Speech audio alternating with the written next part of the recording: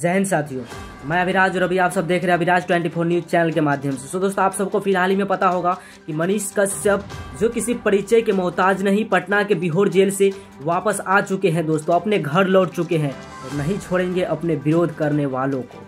क्योंकि जो जिसने उसे नौ महीना जेल में बंद करके रखा, जिस नेता ने उन लोगों को भ्रष्टाचारियों को कभी नहीं माफ़ करेगा और कभी नहीं छोड़ने वाला है, कभी नहीं बगसने वाला है। मनीष कश्यप का जन्म 9 मार्च 1988 को पश्चिम चंपारण के डुमरी महानवा गाँव में हुआ था। बहुत सी लोगों को ये भी नहीं पता होगा कि मनीष कश्यप का पूरा नाम क्या है। दोस्तों, मनीष कश्यप का पूरा नाम त्रिपुरारी कुमार तिवारी और मनीष कश्यप के नाम से जाने जाते हैं, जो बहुत से जगहों पर पूरा भारत में घूम घूम कर सरकार के नाकामयाबों कामों का उजागर करते रहते हैं।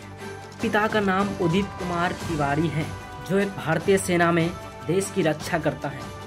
और उनके एक छोटे भाई भी हैं जो एक प्राइवेट कंपनी में जॉब करते हैं। मनीष कश्यप अपना प्राथमिक शिक्षा अपने गाँव से ही पूरा किया है। आगे चलकर उन्होंने महाराष्ट्र में जाकर सिविल इंजीनियरिंग का तैयारी किया दोस्तों।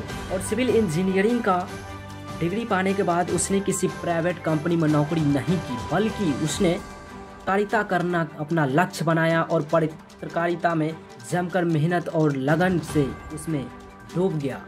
डूबते हुए जो है सो सभी देश को, भारत देश को पत्रकारिता वाले फ़ील्ड में आ गए और सभी जगह घूम घूम कर पूरे देश भर में जो है सो उजागर करते रहते हैं और सरकार के नाकामयाबों कामों का उजागर करते रहते हैं दोस्तों। पत्रकारिता को ही अपना जीवन और करियर बना डाला दोस्तों। सबको पता है, मनीष का सबका जो सच तक न्यूज़ बना चैनल है, जो चैनल का नाम बदल चुका है, जिस चैनल का नाम सच टैल से अभी, उसने 13 जुलाई 2018 को चैनल बनाया था जिसका नाम आ, मैं आप सबको बता दूँ तो सच तक न्यूज़ दिया गया था लेकिन किसी कारणवश जो आप सबको इतना झमेला हुआ है जिसके कारणवश जो है सो मनीष कश्यप को अपना चैनल का नाम बदलना पड़ा। जिससे चैनल का नाम सच तक न्यूज़ था पहले उसको बदल के सच टैक्स बनाना पड़ा। सच सच टैक्स रखना पड़ा दोस्तों।